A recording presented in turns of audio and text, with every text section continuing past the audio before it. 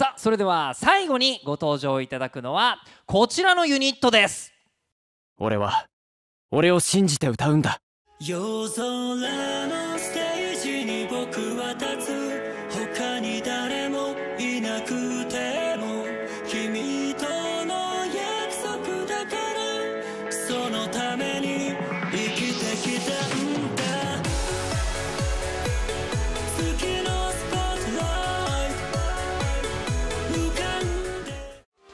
ろしくお願いしますえっとねちょっとこっちだねそうだね、えーそうなんですお二人はあのね大魔王の後なんですけれど、えー完全にこの作品が初めてというお二人でございますシステムオブロマンスありがとうございます。ありがとうございまます。はい、改めまして、えー皆さん、はじめまして、えーシステムオブロマンス、アビコ金次役、山本優里と申します。あ、僕もアートシロップバーガー世代です。よろしくお願いします。はいはじめまして、えーシステムオブロマンスアビコ銀次役を演じております川本大輝です。本日はよろしくお願いします。すごい。なんかもうね山本君があの、はい。トレーディングトレーニング中の大石正義が来たみたいな。いやいや、違う違う違う。触れにくいっす、触れにくいっす。僕、ド新人なんで、よく、まああの、ええ点数ながら言われるんですけれども、ええかけたら、うんはい、そうなんですよ。ありがとうございます。すみません。ん。あのね、魔王の行軍からいきなり新人2人がひよこをポイって投げられてしまって、大変恐縮なんですけれども、はい、いやだってねなんかさっきからいろんな人の話を聞いてると、はい。ここで一番やばいやつは誰だっていうと山本君だっていう。どういうこと、どういうことですか？いや間違ってないです。間違ってない？間違ってないです。川本さんもそう思います？いや本当にもうひしひしとうん。もう長い付き合いなんですけど、んうん。もう1個言ったら15ぐらい返ってくるんですよそうなんだ。やってないぜ、それリハのくだりで、それ。え？知らない、知らない。てかあのねリハなんて関係ないのさっきの見てればわかるでしょ。そう。え俺も思ったよ。後ろで見てて、一切そんなことないよ。兄貴、でねいろいろね頑張れ。いろいろ聞いたんですよ。いろいろ聞いたところによると、えーまず山本さんは、えーもう当然オーディションでこれ選ばれたわけじゃないですか、はいでもねありがとうございます。あのやっぱりこのオーディションがなければ、まあ、人生が多分変わっていただろうというはい、やつですよね。はい、そうですね。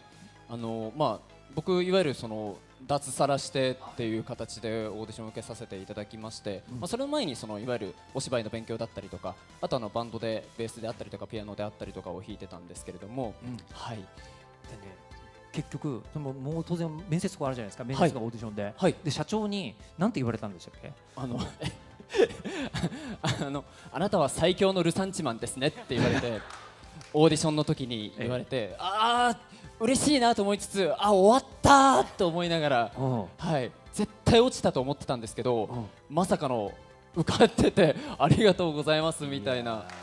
だってねある意味もう今変わってる部分もありますけどロックってカウンターカルチャーだから、はい。やっぱりこうルサンチマンがある人じゃないとあ嬉しいです。絵にならないと思いますけど、それはさすがにロッキンオンかっこよく言うなと思ったんですけど簡単に言うとこじらせてるオタクってことですよね。ね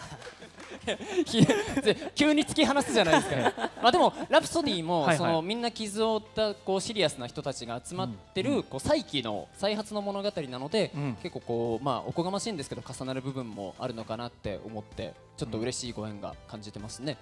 だからね、もう本当に何にでも詳しいっていう人だそうでさっき斉藤君が言ってたのはでも本当ラプソディってみんなお互いにはい。音楽とかこれとかのおすすめみたいな話しまくってるっていう、あーもうなんか、ね。結構珍しい現場なのかなと思うんですけど、まあ、この現場特有なのかなと思うんですけどもう本当にさっき春の十字架の皆さんがおっしゃってたようにもうそこを逸脱してずっとおすすめのアーティストとかバンドとか最近の新譜とか昔のアーカイブとかそんな話ばっかりさせていただいてて。でそうなるとさっきの川本さんの話に戻って、はい。あの人が1個言うと15言う人なんですいやよ。本当なんですよ。全然音楽とは関係ない、まあ、音楽は本当一曲いったら100ぐらい返っていくるやいやじゃ盛りすぎ。ちょっとやばいやばいよ。いやいややばいよ。そんぐらいやばいってやばいってすげえどんどんハードル上がってんじゃん。僕これからなんですよ僕らは。やばいですよ。何これ？M1 の2回戦ぐらい どうもシステムオブロマンスです。いややらせてもらってます。めちゃめちゃよろしくお願いしね本当にね。大丈夫川本君今日なんかわざわざ地元からお父さんお母さん来てる多分どこどこかで見てるんじゃないんでしょうか。お父さん母さん。わざわざ渋谷までいらっしゃっているという、配信があるとは思わなかったんだ。ごめんね。確かにわざわざ鳥取からごめんね。ええいいやでもなんかいい対比ですよね。で本来、えっと、これ作中では二人兄弟なわけですもんね。はい、はい。はい、でお兄さん、はい。弟という、弟です。えーことなんですけども、まあ、アフレコは2人とも、まあ、もう初めてなわけですよね。そうですね。品でその初めてのアフレコってどういう気持ちでした？いやでも本当にあれですね。ちょっとあの絵ができてるって話は、うん。もうさっきされたちらっとねはい、されたと思うんですけど、はい。本当にもう絵がもう出来上がってたので金次君と銀次君の表情はもうしっかりと描かれてたのであとはもう僕らのあのこう演技のこうセンスというか感性というかものをもうぶつけるだけだったのでもう本当に緊張とかもほとんどなくもうスムーズにやらせていただきまして本当に。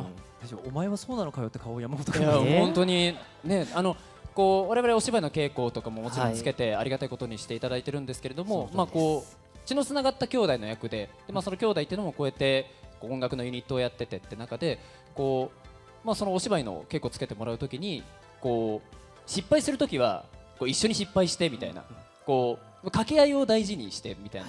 これは例えばそのお話の起承転結に沿わない会話の具合になっちゃってるかもしれないけどでも転ぶときは一緒に転んで起き上がるときは一緒に起き上がってっていう風にずっとおっしゃっていただいてたのでなんかあのすごくこう東大元暮らしというかうまくやるだけが全てじゃないのかななんてこうおこがましくも思ったりもしてすごいあの苦戦しながらやらせていただきましたキャラクターに引っ張っていただきながらはいいいですね悩ん悩んでる時全部アドバイスすごいくれていやいやいやいやいやもう本当にそんなことないよそんなことないよ違うよなんでコントを始めようとするのそこでごめんなさい俺のせいかもしれないごめんなさい僕のせいですごめんなさい今明らかにまたあここからしゃべくり漫才からコントになるタイプすみませんちょっとね 2回戦を突破したいところなんですけれども。はい。そうですね。え2回戦突破の前に、はい。今日はお歌があるんですよ。なんと みんなに言いたいことがありますって。はい。ってことで、おい。おい。おいおい。大変失礼いたしました。異様に先輩に愛されてる気持ちがちょっと分かってきました。はい。さあ。ということでシステムオブロマンスのお二人はまあここまでにお話聞かましたが。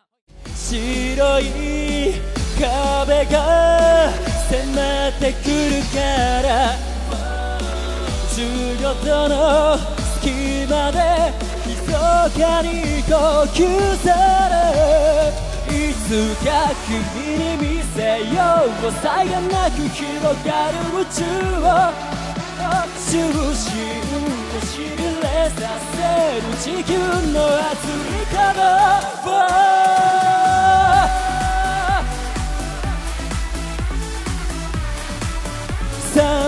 360度。Wow Wow 360度。色とりどりの情